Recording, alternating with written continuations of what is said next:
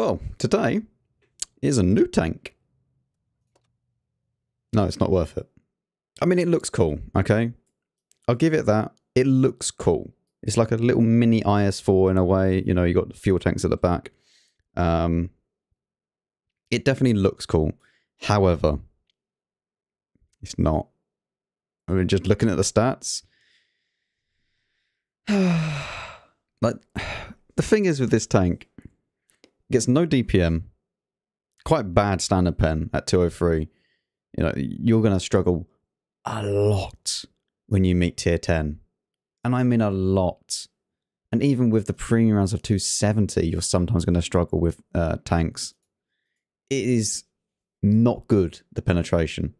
Especially firing at distance, what goes down to 190 at 500 meters, that is awful. Um, you have long reload time, long aiming time, massive dispersion, and absolutely poo-poo dispersion when you're on the move, the tank traverse, and turret traverse. Not to mention, you're not even fast. You don't have armor.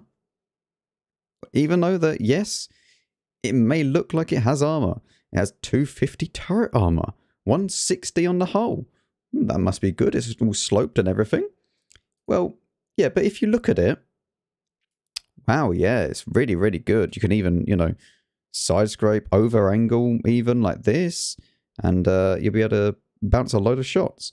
Um, however, if you have a little look at the, the top of the turret, ah, it'll be overmatched by 90 millimeters and above. Not to mention that this cupola is always penetrable by anything. And I would forgive the armor if the gun was okay, right? If the tank was a little bit faster or the gun was like a lot a lot better than it is, the armor would be fine. But it's not. Even absolutely maxed out, it's still not good. It goes 35 forwards, which is a lot more manageable. 15 in reverse. And the dispersion values are still absolutely awful. Even with V-Stab. The gun accuracy dispersion is also just useless. Um, the aim time is 2.7. Like, it's... It's got nothing going for it.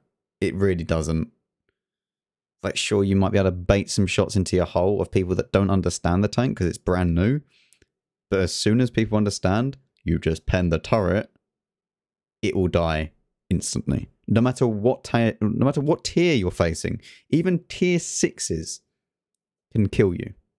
So should you pick one up? No i'd avoid this. I'd avoid it like the plague. Now there is one glimmer of hope if you love the look of this tank, right, and you really want to get it. It may be buffed in the future, but you should never buy into a maybe or a promise for the future. You should never buy into something that promises to develop on something they already have because you're taking a risk. I, I cannot recommend this tank in good faith to anyone. like the best thing is that it looks cool and that's about it. But for 8,000 gold, which is an okay price, if you really want to get it, bid the absolute minimum and maybe you'll get it. But for me, I'm not bidding anything.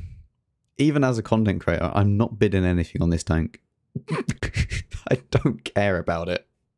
Like, genuinely, I think this is one of the worst vehicles they've ever released.